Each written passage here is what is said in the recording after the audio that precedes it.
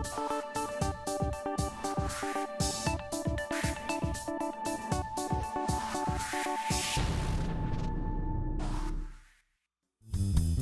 views and opinions expressed in this program are those of the participants and do not necessarily reflect the views of BronxNet or the program underwriters. And hello, welcome to Open, the one and only show that opens the Bronx and the rest of the world right to you. I'm Daren Jaime, and today we're going to update you on what's happening in and around our borough. Coming up on today's show, we update you on the latest in politics, including the New York Times article featuring President Donald Trump and his alleged tax allegations. Afterwards, in an effort to keep our neighborhood safe, the Bronx District Attorney's Office and the NYPD created the Bronx Gun Buyback Drop Off sites designed to exchange guns for cash. We'll give you a little bit more about this a little bit later on in the show. Then, falls are the leading cause of fatal and non fatal injuries for older Americans. For the nearly 1.6 million New Yorkers ages 60 and older, falls are a serious threat, but they're often preventable. So, we're going to tell you about the efforts from one organization to avoid injuries and much more. Then, the second annual Bronx Alzheimer's Walk just passed, an important event organized by the organization RAIN, raising awareness about this illness. Representatives from the organization will join us in studio to share more. So we want you to stay tuned because all this and much more is heading your way. Right now, we're officially open.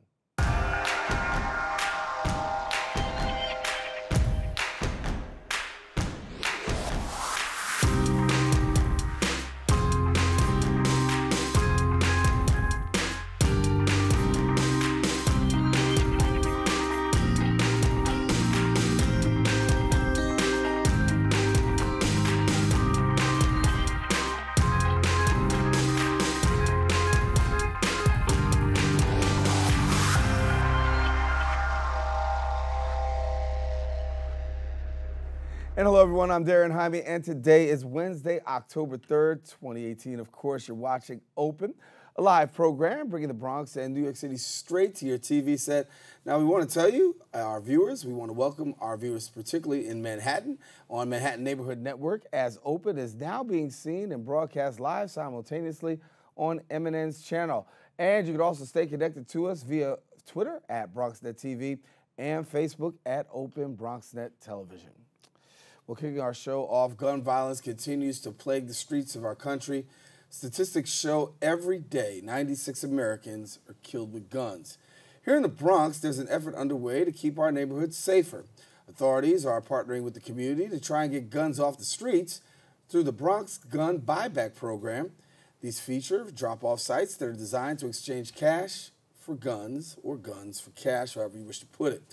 Here to share a little bit more about the program is Assemblyman Victor Pichardo. We welcome you back and uh, good to have you. Always a pleasure. How's it going? Going good, going good. So, obviously, as I said, you know, in the intro, 96 Americans every day are killed with guns. And when it comes to the issue of kids 0 to 19, those numbers continue to rise. And I know here in the borough, mm-hmm. um, you know, a real focused intent. This isn't the first time we've done the gun buyback Absolutely. program, but yeah. let's talk about why you feel this, uh, this program is important. Well, I think taking at least one gun off the street can save countless lives and you know giving a person an incentive to turn in a firearm no questions asked i think that's a great thing to do again if the idea is to lessen the amount of firearms that are available on our streets and put them in a safe way where they're disabled and can't harm anybody, I think that's a win-win for everybody. And again, with the incentive as well uh, to pay cash for these guns, I think it, it, helps a person out if they're struggling or whatever. But the most important thing is to turn in these firearms, get them off our streets so they can't harm anybody either now or in the future. So let's talk about the program as it is right sure. now. People have the opportunity to turn guns in. How does it work? So first of all, I want to take this opportunity to thank the District Attorney Darcel Clark. I've been pestering her for quite some time to get this one in my district, so I want to take this opportunity to thank her. Um, so basically, a person comes in. Um, first of all, if they're transporting a firearm, make sure that it's in a safe position, that it's locked in their trunk. Um, basically, if you trade in an assault rifle or any operating handgun, you get about a $200 prepaid cash card. If you turn in any other type of firearm or weapon, you get a $25 uh, gift card. But again, the firearm itself has to be in operable order. Um, from my understanding, it doesn't have to have bullets. but preferably I believe that they shouldn't be having ammunition within the firearm. So bring in the firearm. If it's an operable order, they will disable it in, in, in, in front of NYPD and they will get their uh, cash card. But it's only up to three weapons that they'll get the money for. But if they want to turn in more, the more the merrier.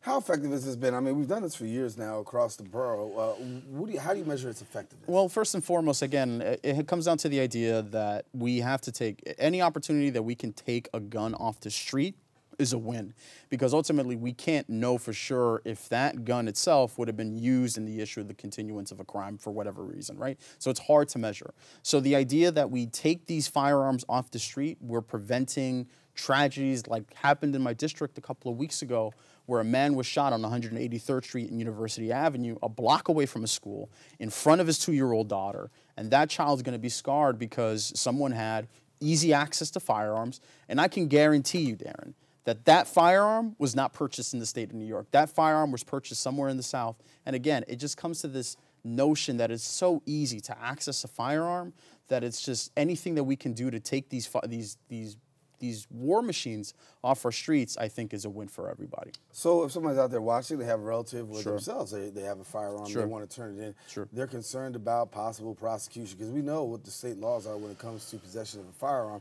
Talk a little bit about that. So first of all, the, the, this is a no questions asked thing. You show up with a firearm, they disarm it. They, they give you your cash card. They don't look and they don't go through the background check of a firearm. They just the, the idea is to get this firearm off the street. Period. So if like let's say if you're living with someone that you know that has a firearm, you want to get rid of it, you can and get some money out of it.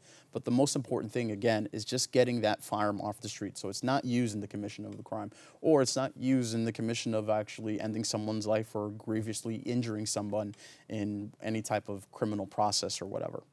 So where do people drop this off at if they have? Sure. So first of all, this event, I should led with this, um, is going to take place on October 13th, starting at 10 a.m. to 4 p.m. over at Holy Spirit Church in my district, which is uh, 1940 University Avenue.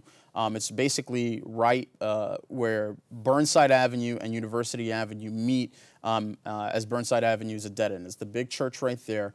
Again, 10 a.m. to 4 p.m. the 13th.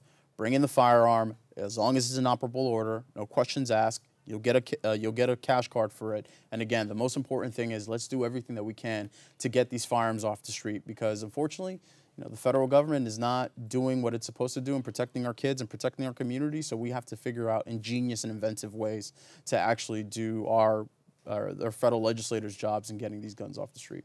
Let me dial back a little bit on what you talked about the sure. shooting a little while ago sure. in your in your neighborhood. Sure. Uh, give me a little bit about the community right now. What's the what's the atmosphere? What's the temperature like given the given the shooting? Well, look, we myself and a lot of community organizations like Bragg and I am I am my community and organizations that are anti-violence. We did a peace march in the district in one of the hottest areas, which is basically the 183rd Street corridor a couple of weeks ago.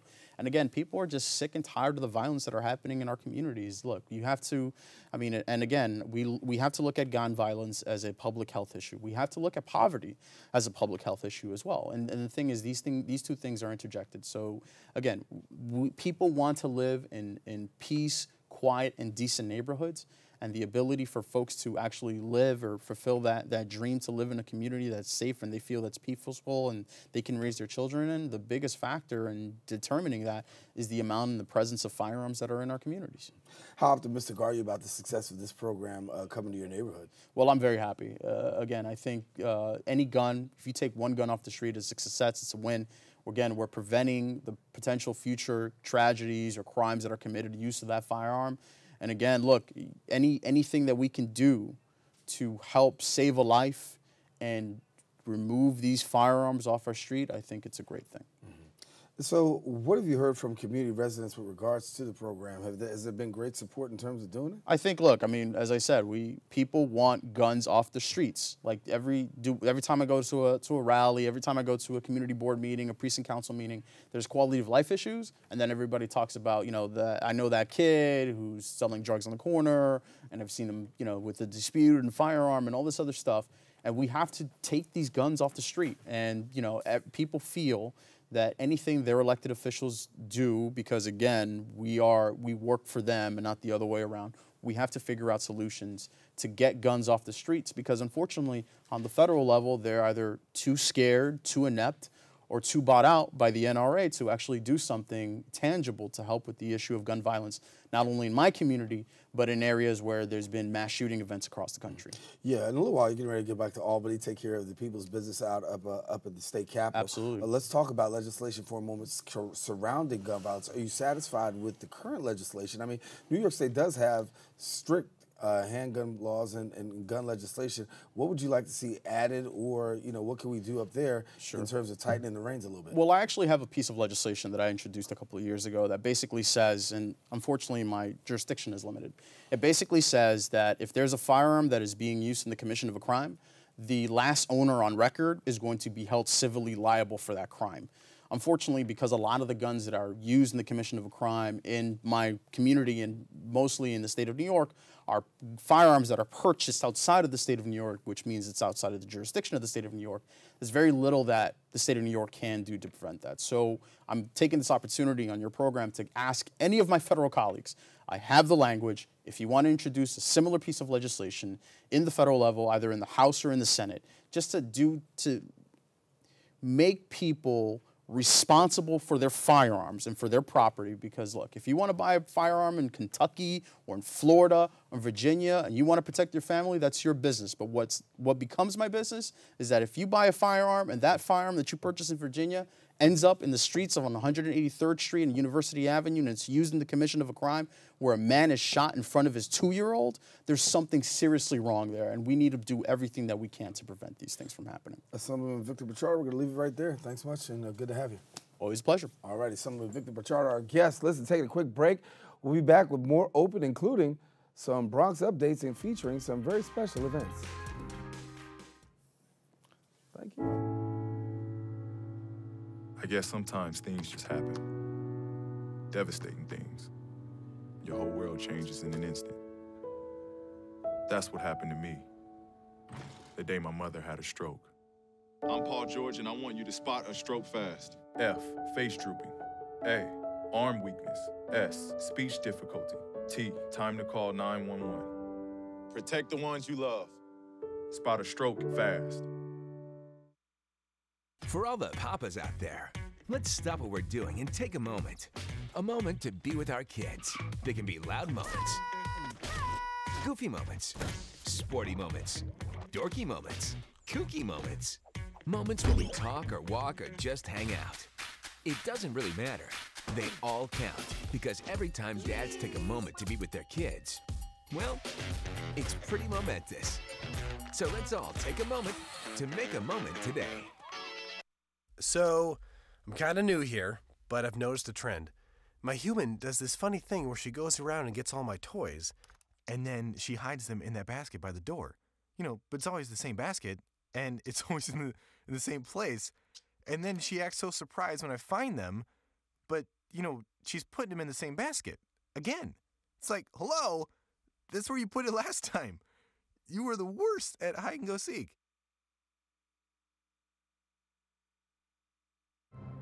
Behold, the angry giant.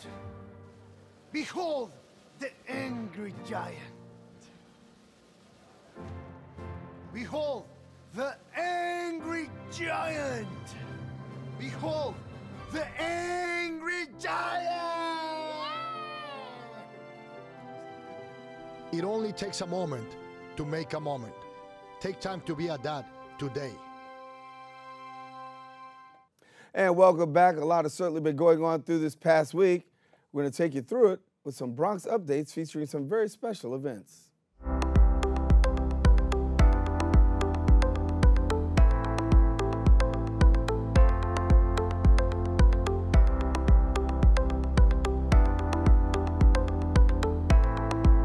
Well, as we said with our Bronx updates, today we're going to talk about some very special events. We're going to encourage you to come on out and get active in your neighborhood park.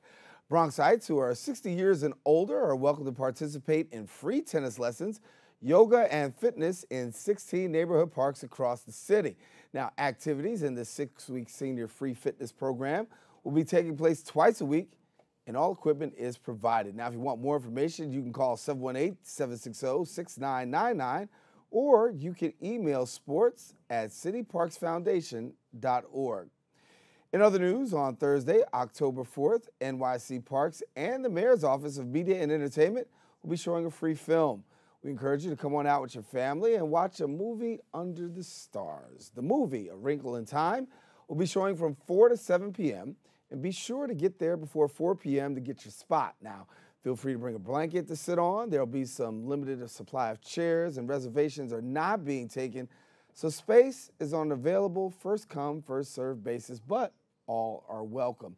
Now, Movies Under the Stars will be at the West Bronx Recreation Center. That's located at 1527 Jessup Avenue. For more information, you can contact 718 430 1825. Once again, that number is 718 430 1285. And finally, on Saturday, October the 20th, join the Bronx River Alliance on a paddling adventure and explore the freshwater sections of the Bronx River. Registration opens two weeks prior to the trip date at 10 a.m. and ends before the trip at 10 a.m. There's also a limited amount of 20 tickets. The cost is $15 for children, $30 for adults. The event will be located at 219th Street and Bronx Boulevard in Shoelace Park. Now, if you want to contact the Bronx River Alliance, this is what you do. You call 718 430 4665 or email paddle at bronxriver.org. Well, that's all the time we have for Bronx updates. We're going to be right back right after this. Cheru has no choice.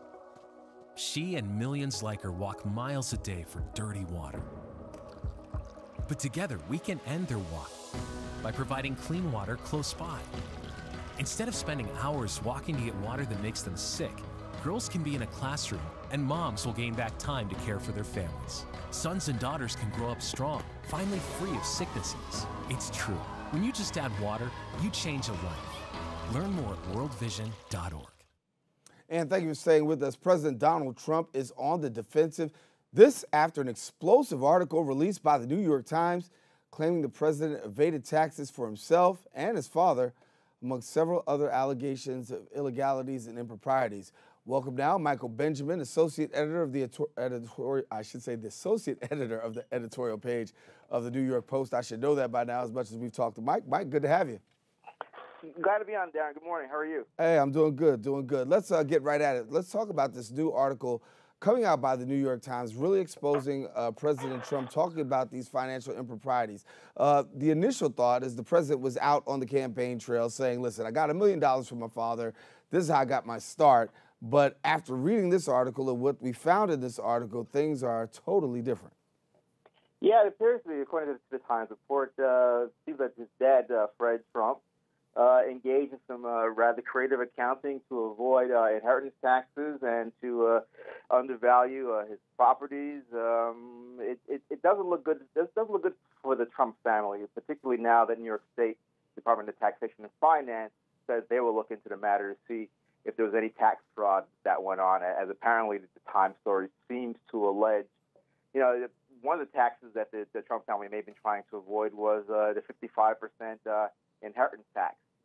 And so, what the alleged scheme, according to the Times, involved with the creation of a uh, of a shell company, uh, all count some sort of a supply and maintenance company that would bill uh, Fred Trump's companies for equipment and supplies at overly inflated prices, and the uh, I guess the excess would then be transferred to the Trump children as they could pocket without paying any any inheritance taxes on.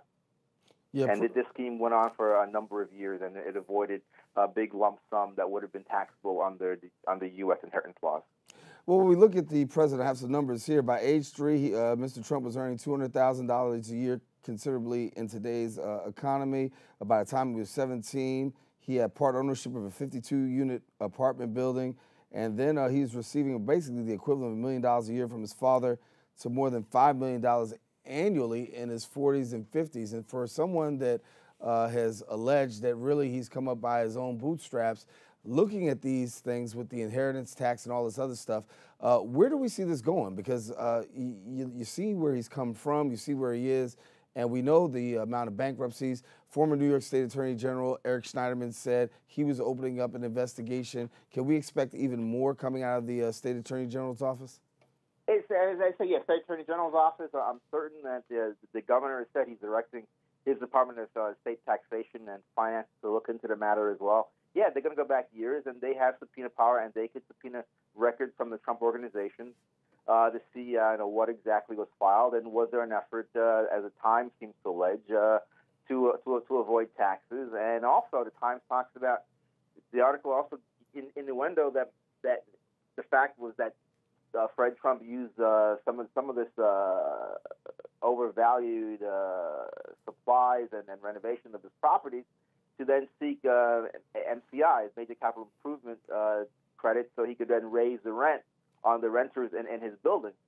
And using those overinflated prices allowed him to, to raise the, the rents much higher than he normally would have been able to.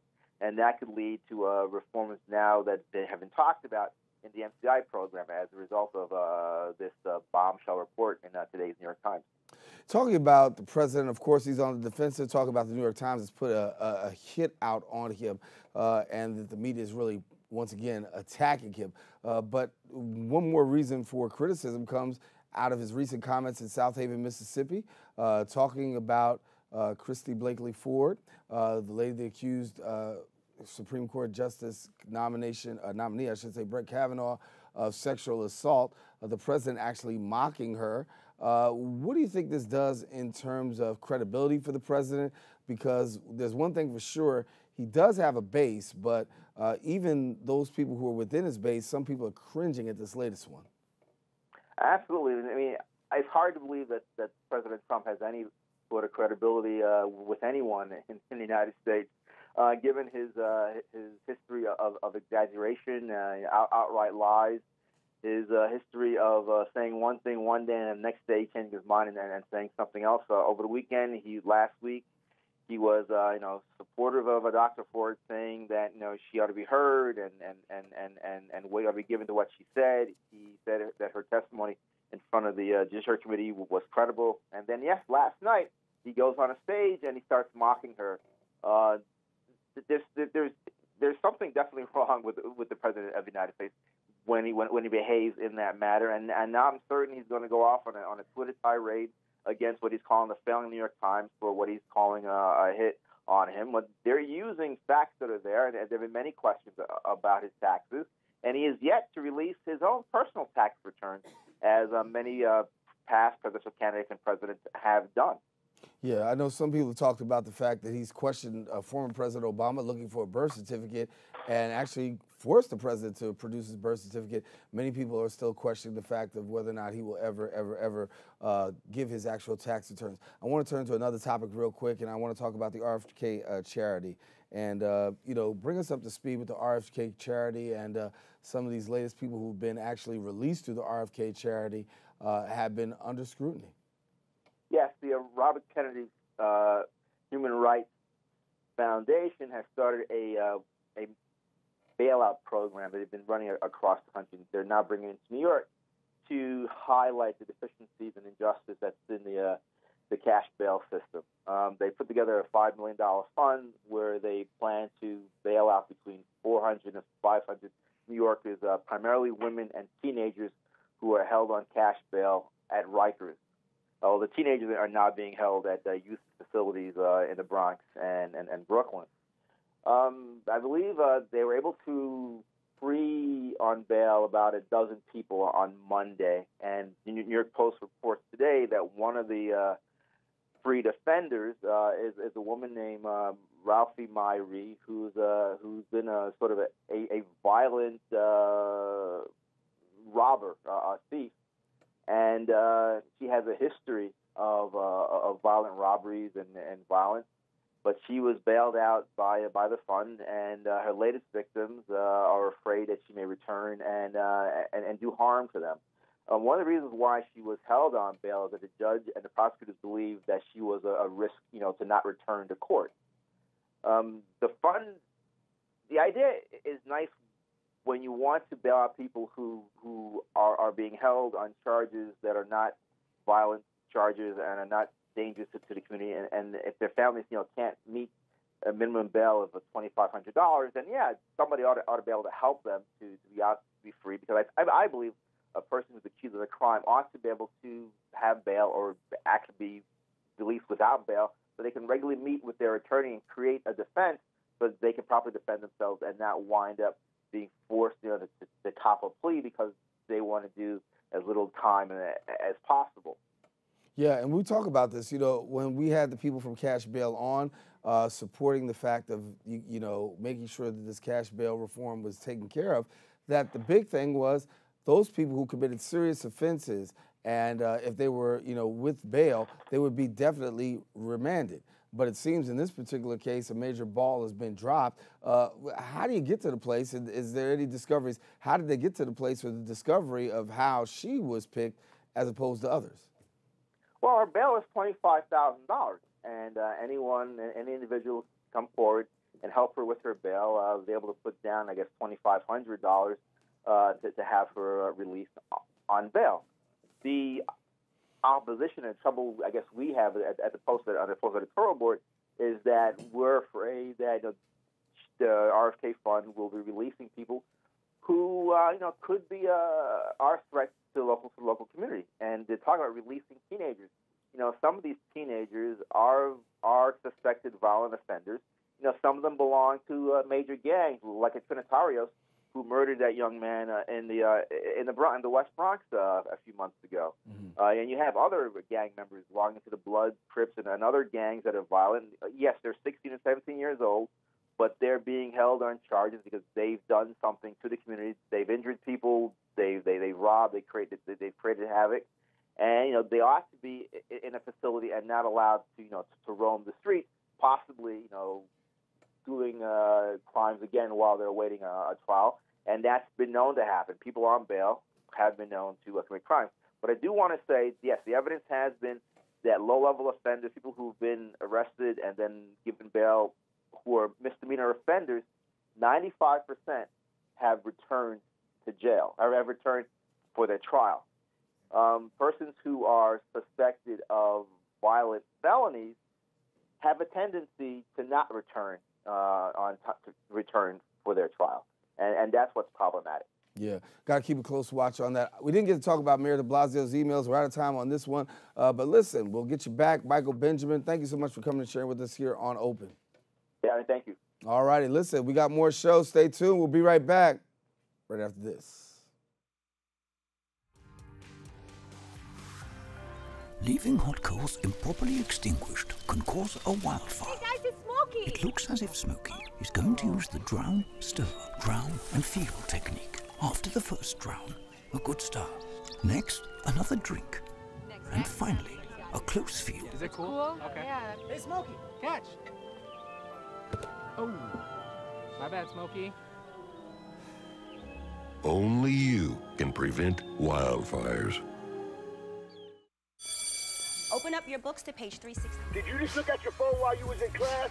You played yourself Talking about inspirational quotes. You gotta believe in yourself. Don't ever play yourself. The key is to make it, so make it. Louise, Louise, can you give me an example of an inspirational quote? Don't play yourself. The key is to make it. And who said that? I did. Now that's a major key alert. Learn the real major keys to getting to college at getschool.com. I'm only 17, but I know about investing believe in something, buy shares in it, watch it grow. So, what if you could invest in the future? The future of kids, like a stock. Not the kind of stock that's about making money, but a stock for social change. A whole new kind of investment called Better Futures. When you invest, it helps kids go to college. I could be one of the first college graduates from my family the first philanthropist from my neighborhood. And if I'm the first, then maybe there's a second and a third. Believe in us, invest in us, watch us grow. My name is Sydney, and I'm your dividend.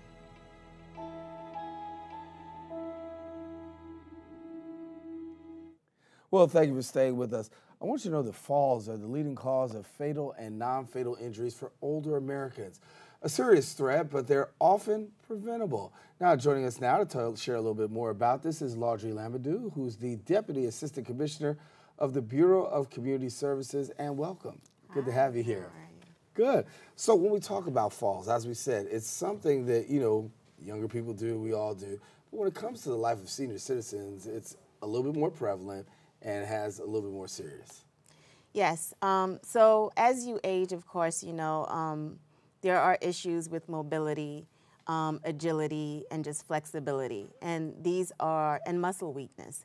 And those are some of the symptoms are, um, that cause falls.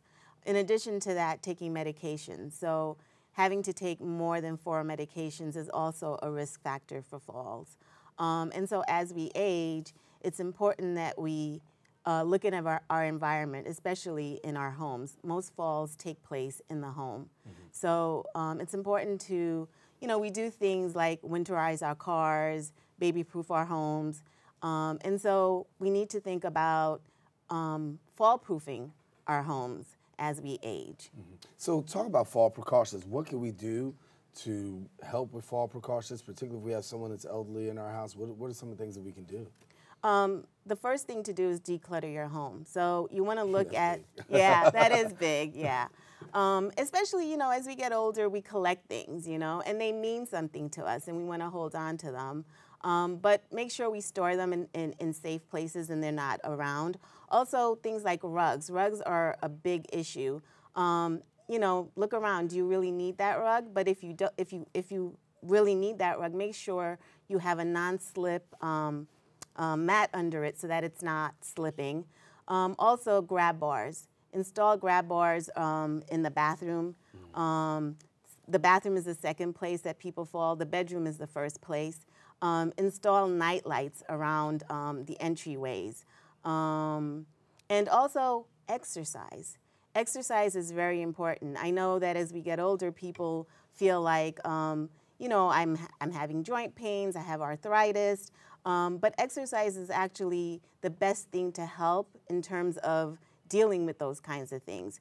And at our senior centers, we offer evidence-based programs that address falls, such as Tai Chi for arthritis, Stay Active and Independent for Life, A Matter of Balance, and all these programs are free. Mm -hmm. And so you got a special program coming up too, right?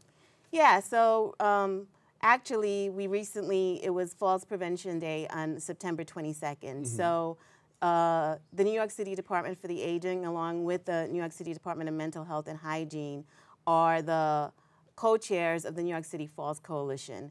And we put together over 45 events, um, one of them being a Tai Chi for Arthritis uh, event that took place at BronxWorks Innovative Senior Center. Mm -hmm. And it was, uh, it was a Facebook Live on our page.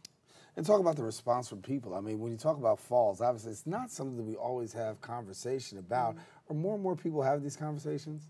Yeah, I think uh, you know people are becoming more aware. We've been having the falls prevention annual, the annual falls prevention for the last 11 years. So um, we're tasked with getting the word out, and I think people are more aware of it and are becoming not only aware of the things inside their homes, but also outside. So uh, within New York City, we've done things like making sure that the sidewalks are more level so people aren't tripping. Um, you know, in terms of even having more rest places for older adults as they walk. So if they feel faint or anything like that, they can sit down and rest. So it's a big issue, and um, people are becoming more and more aware of it. So for people who want to find out more information, what do they do? So they can go to um, DFTA's website at www.nyc.gov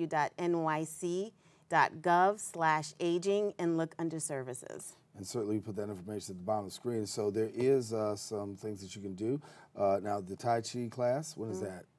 So um, the Tai Chi class already took place, but if you're interested in a Tai Chi class, please call 311 and um, for your local senior center and ask them when they'll be having the next um, um, Tai Chi class or any class that addresses falls. Wow, Laudrey Lamadieu, thank you so much for coming and sharing with us. Thank you. I want to let you know that one in four Americans ages 65 and up actually experience falls. So if you can get some information, go ahead and get it. And as you said, uh, contact the organization, and I'm sure they'll provide you with the much needed resources for that. Now, listen, got to take a quick break. We thank Audrey, Laudrey for joining us, and we want you to stay with us. We'll be right back with some more Open coming up right after this.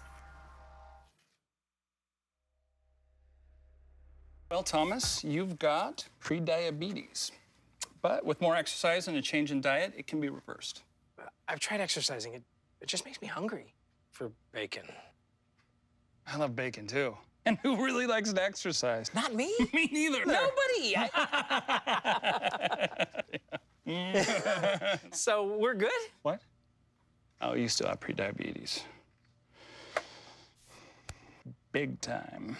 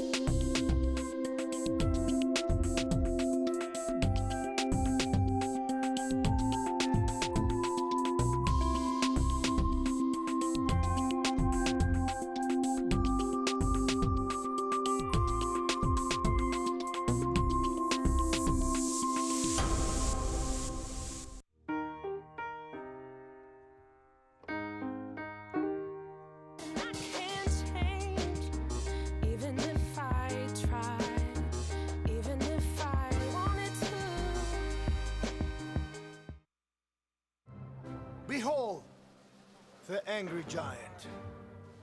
Behold the angry giant. Behold the angry giant. Behold the angry giant. It only takes a moment to make a moment. Take time to be a dad today.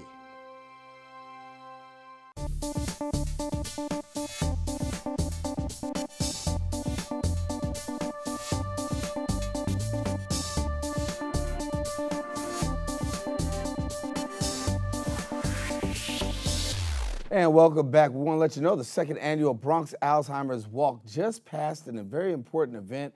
It took place recently, and uh, we want to let you know all about that. Also, want to let you know that the Alzheimer's Caregiver Link program, it's a very special program that's being sponsored by RAIN. RAIN is raising awareness about the illness. And here to share a little bit more about RAIN, we welcome now Marijan Pavisic, as well as Vice President of Human Resources and Compliance. And then we also welcome Roberto Reyes, Program Manager at Alzheimer's Caregiver Link program. How'd I do? Good, good, I great. did good. Thank you for I having got the us. pronunciation right. You got it right. You told me I'm the man, right? You're the man, man. Oh, so far, so far. Good to have you. Listen, I want to get right into this to talk a little bit about, uh, and we just did this, we just talked in the last segment, and there's uh, some ways that the last segment and this segment correlate. So let me start with that first. Great. So the RAIN has been around for 20, for 52 years. We are a comprehensive social service agency. We run about 25 different programs and 13 different centers. Mhm. And to touch upon your previous guest, we actually do our fall prevention in one senior centers. We teach our seniors how to prevent falls in house and around the city. Um, at the same time, uh, RAIN is growing dramatically. We have a home care piece of our business. We have a housing. We have a Meals on Wheels. Senior centers will have a custodian cook. So we're always looking for a new and fresh blood, somebody who is either in the initial stage of the career or they would like to continue their career. And we offer a great program where we bring our employees in, evaluate their needs, evaluate their wants, and then guide them for the process of establishing their career path if they're in an early stage. whether they want to go to college. We, we partner with Lehman, we partner with Hostos, we, we send them out to continuous education. Uh, home care aides, we have a pad set up for them to go to a nursing school. So Bronx is, uh, RAIN is an agency that loves Bronx. Bronx loves RAIN. And we try to do what we can to help Bronxians improve their lifestyle, improve their social status, as well as health. And Roberto, you deal with a very serious program and sensitive programs too. We talk about Alzheimer's and uh, not just Alzheimer's patients, but really the caregivers. And many times, uh, when you're caring for people, whether it's dementia, Alzheimer's, it wears you out. And I know that you have the opportunity to really provide services there for caregivers. Yes, we do. Um, you know, it's it, we already know it's an insidious disease, and it it creeps in on you. And i if you've never taken care of someone, in general, you know, people don't realize how stressful that can be. Actually, taking care of somebody 100% of the time. Now multiply that by a factor of 10 with somebody with Alzheimer's. You know, it's it, you you have to constantly watch this person. The person is prone to wandering. The person is is prone to um, to falling. You know, they it, it it's just one thing builds on the other, and you know. It, if you've seen one case of Alzheimer's, you've only seen one case. It doesn't affect two people the same way. And, you know, caregivers often are providing care for a loved one, and sometimes it's in a not so loving way. You know, I can't believe I got to help this guy put his pants on today. I can't believe I got to feed him. You know, it's, you know, we're talking about people who are going into their golden years, and this was not the dream that they had going into these golden years. So we provide a safe space where they can get these things off their chest, never in a judgmental way. And, you know, we, we have the professionals in place to help them every step of the way. Mm-hmm. So a lot of services that you provide right here at Rain. Uh, and so for people who want to find out more information, obviously uh, they can contact Rain. Uh, but talk to us a little bit about getting out into the community because I know that you guys are always engaging the community and letting us know what's happening with you as well. We do a lot of outreach to our local areas. We do a lot of health fair where we speak to Bronxers of all ages and, and do health assessments. We do a lot of Alzheimer walk kind of events. We attend the community meetings. We attend senior housing. We try to be out there and, and make sure that community understands we are there for them and services we offer. Something as simple as opening a mail and reading what's junk, what's important, to something as important as guiding you through immigration complications of entitlement benefits. So we do a lot of outreach through all the local elected officials, which we thank. We do a lot of outreach to hospitals, senior communities, uh, town hall meetings, as well as our internal centers. And so for people who want more information about your program, what do they do? Well, they can contact me directly via email. It's roberto.reyes at raininc.org, or they can call me on my cell phone, which is probably on all the time. um, I, my battery dies quite a bit, but the email is the best. I'm usually pretty good at getting back at them, you know, within 24 hours. Um, or visit your local rain center, and anyone there will be able to direct you toward me. And I said specifically caregivers. And sometimes it's hard for even a caregiver to come forward and say, I need some assistance. Do you find that? all the time. I mean, we're talking about a disease that's severely stigmatized. Nobody identifies with the word caregiver. I mean, taking care of mom is just what I'm going to do. Right. You know, she gave me life. I'm, I'm not a caregiver. That's my mom. You know, so it, it, getting people to wrap their minds around the whole concept of caregiving is something that's, you know, it, it's a barrier in its own.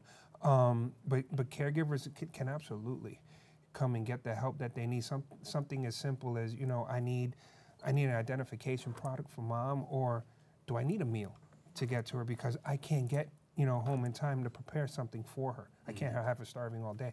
So I mean, we, we do so much, and people still just don't know. If I had a nickel for every time somebody said, "I wish I would have known that," I mean, I'd be living comfortably in the Caribbean somewhere. yeah, a lot of information that sometimes people don't Yes. know and at the same time don't take advantage of. And Marijan, for, for the people who are out there right now, just if you have seniors, if you have you know questions or activities, Rain is the place that you can go.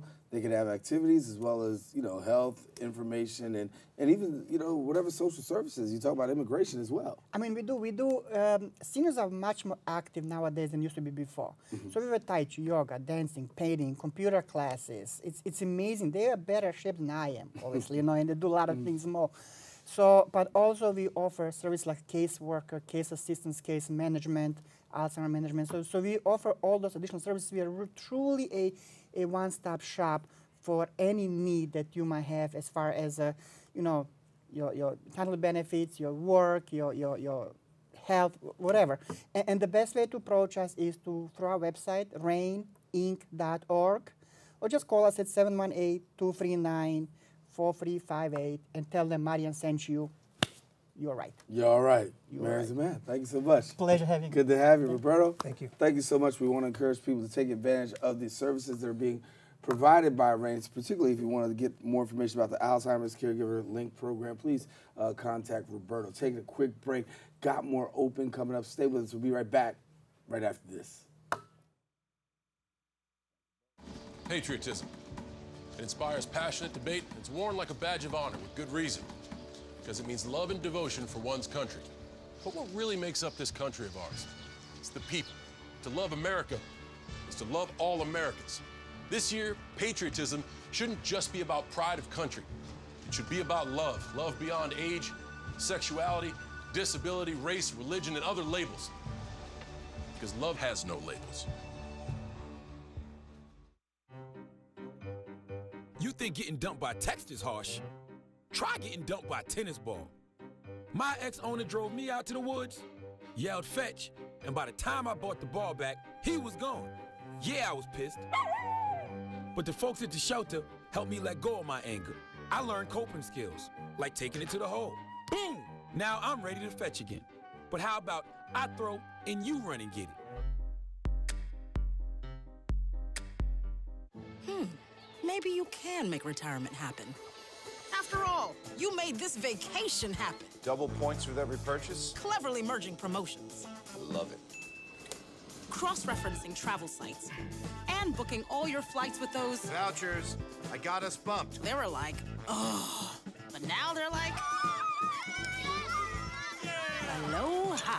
You aced this vacation. Now get the tips you need to get on track at aceyourretirement.org. So, I'm kind of new here, but I've noticed a trend. My human does this funny thing where she goes around and gets all my toys, and then she hides them in that basket by the door. You know, but it's always the same basket, and it's always in the, in the same place. And then she acts so surprised when I find them, but, you know, she's putting them in the same basket. Again. It's like, hello, that's where you put it last time. You were the worst at hide and go seek.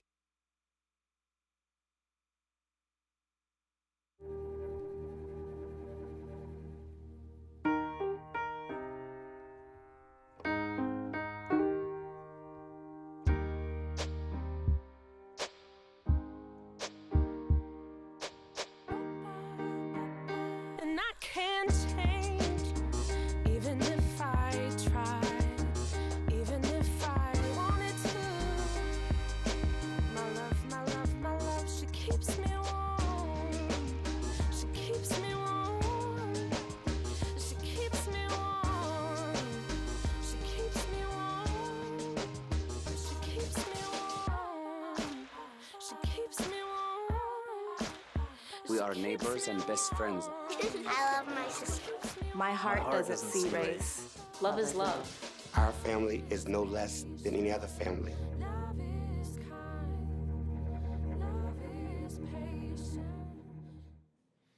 Like Minded People NYC is an organization inviting you and your family to come on out and celebrate the cultural wealth that exists right here in New York City. And here to share with us a little bit more are the co founder of Like Minded People NYC, Christian Koumtog and Shah Saint-Cyr. We thank you so much for coming and being with us again. Thank you. Thank you for having us. Good to have you again. Anytime we bring you back, that means good things are happening. So good to have you back. Thank you, sir. Thank Listen. you. Yeah, It's, talk to it's, us. it's, it's always a, a, a blessing to, to be given an opportunity to speak with the community, and this is what Like Minded is all about reaching out to New Yorkers and, uh, and making sure that we understand the, the importance of, um, of building a sustainable community. And, and this is exactly what we do. We, we think of initiatives and events that will bring different cultures together. Um, we do art exhibitions. We do actually right here in, in, in the Bronx at Mullaly Park, we have a soccer tournament once a year uh, that involves not only Africans but uh, Caribbeans and South Americans. Just we love soccer, so why not have an event and not just play but exchange and, and keep in touch and see how we could build upon um, those type of interaction. And um, our latest event, uh, which is the, the Akwaaba Picnic. hmm And that's coming up on Saturday, October 13th. Yes, it is. This is an opportunity for not just waving at your neighbor, but coming out and actually having a plate from their country. So you get an opportunity to taste and mingle and learn about the ethnicities that uh, we rarely get to commingle with in New York City, except for perhaps riding on the train. Mm-hmm. And so this picnic is taking place Saturday, October 13th. want you to come on out. It's uh, Commodore Barry Park, and uh, that's gonna, where the events are going to be taking place. And as you said, when do you get a chance to infuse culture? You know, there's so many different cultures across New York City, so many different people that you have an opportunity to meet. What's the conversation like? What's the interaction like, given the fact that you have this great infusion of various cultures right here in our borough? It, it's pretty interesting that we say that because typically people go straight to current events, Mhm. what's happening in the United States, what's going on on the news, and that is very important. But we never really get an insight as to what's going on in other people's countries. I mean, there are zip codes in New York City that actually have every nationality in the world. And you don't really get an opportunity to do that. So we're trying to provide that platform. Mm. we try to take it to the to the next level. Like even us being co-founders, he's he's Haitian American. I'm from the Republic of Chad. You know, I'll ask you, how many people you, do you know from Chad? One. and what's funny is we, we have a large um, Chadian, people from Chad are called Chadian, community in the Bronx and Left Rock City. So it's, uh, again, this concept that this is the most diverse um, uh, city Right. ever. And, and what's interesting is we were invited to um, Gracie Mansion last week, uh, the Mhm. mayor uh, Right. of New York had a, uh African heritage event at Gracie Mansion and to celebrate the African culture. And he sees the importance of diversity. And he also sees the, import, the importance and the impact Africans have. Uh, and that can apply to any community. You know, we I come from Chad. I've been here for 17 years. I came here when I was 17. Mm. You know, that was two years ago. And You're doing a lot of good work in two years, man. but but really pushing people to understand that we are first of all humans. Mhm. You know, it's not our choice. I was born in Chad. You were born here. Uh, now that we are here in New York, take the time to see uh, what else is out there. You know, pushing people to think outside the box, outside of your community. You will never know what great things may happen, and, and that's also the power power of networking. Right. I mean, we got millions of people here in New York City, of course. You know, in the Bronx alone, 2.4 million Yes. people right here. We know about Brooklyn. But when you talk about it, there's a great amount of diversity, but there's also a great amount of segregation. But I, I want to ask you this question about cultural wealth, because that, that's a word that comes up. So, so when we talk about cultural wealth, what does that mean to you? Uh, cultural wealth, uh, in certain ways, means diversity and similarities. Mhm. Uh, there are many things that, uh, based on the migration of so many people, there's an unawareness of how many things that were very similar. Uh, if you look at uh, Greeks, Macedonians, uh, they have similar dishes and so forth. And when we actually have our events, there are dishes, there are games that we tend to play that people didn't even know existed in other countries. Uh, so that formulates rapport, camaraderie with, uh, with our neighbors, with people in New York City. And that cultural influence is something that really starts breaking the barriers and creating somewhat of not that segregation, but that opportunity for us to actually gather. And let's tell people, you know, once again, you want to talk about gathering together. Listen, the picnic is taking place on October the 13th at 2 p.m. People have the opportunity to come. Uh, so there'll be plenty of food, plenty of games, and We're saving a plate for you. You're gonna save a plate for me. Yes. Make sure, Got- and, and the whole crew. and the whole crew. Everyone that here. means we got. That means we got to infiltrate. Come on down. Come on down. and Just I want to really add that one thing that's really funny also about being New Yorkers that we are trying to push is, you know, we live in Brooklyn, but trust us, if there is anything that will change our life or anything amazing happening in the Bronx, we will come to the Bronx to enjoy the event, whatever is happening, we'll be there. And that's one thing that I've noticed. New Yorkers, I'm from Brooklyn. Nah, I don't do um, I don't do the Bronx. I don't do Harlem. You know, and we stayed our own borough. Exactly. And this is one thing besides just pushing uh, the uh, you know the, the love of other culture, the love of other borough. You know, we try to do events everywhere. We do. Um, we also have a partnership. Well, last year we had a partnership with the African Film Festival Mhm. when movie makers, African film producers, come to New York to showcase their film.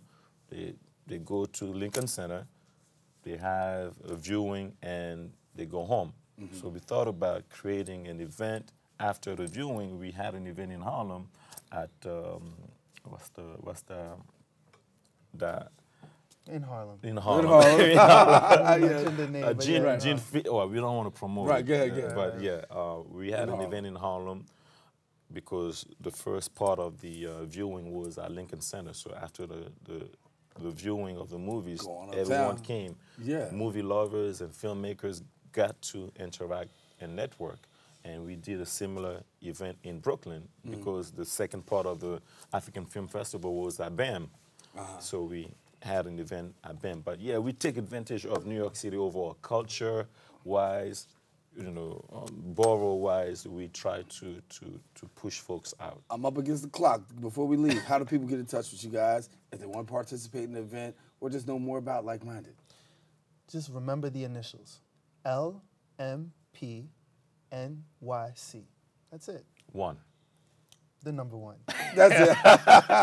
Thank you All for right. having us. Thank you. No good. Good, good to see you again. Good to see you again. Nice seeing you again. All right, then. Listen, I want to let you know. Come on, take advantage of the event. It is Saturday, October 13th, and it's going to be at Commodore Barry Park, uh, and that's going to be on Flushing Avenue, in North Elliott Place in Brooklyn. And that's where you see all the various cultures, all the various boroughs coming together. Listen, we've come to the end of our show today. want to thank all of our guests for joining us. Most of all, I want to thank you, the viewer, for tuning in. Now, if you missed any part of today's show, you can catch the Recablecast at 5 and 10 p.m. on Optimum Channel 67, Verizon Fios, I should say that's Channel 33, or you can watch us anytime on the web at bronxnet.org. Giving a big shout out to all of our viewers and watchers, particularly my sister, I know who's watching right now. Listen, watching MNN, and we want to give a shout out to all those on the MNN network who's also watching us as well. For all of us here on the set of Open, I'm Daren Jaime saying take care, God bless, and remember, pink is for Breast Cancer Awareness Month. So please remember those who've been uh, affected by breast cancer awareness to do your best to spread the word. Take care, keep this channel wide open. God bless. Thank you.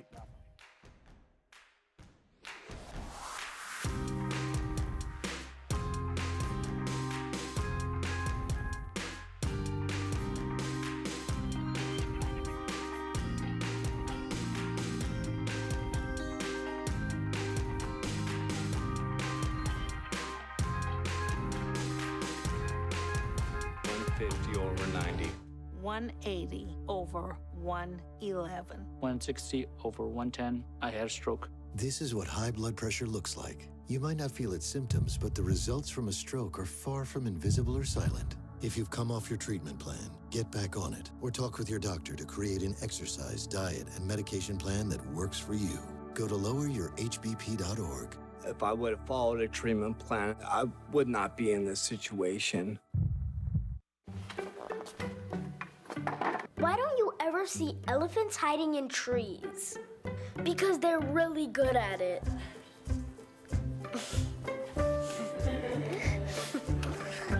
yeah, I get it.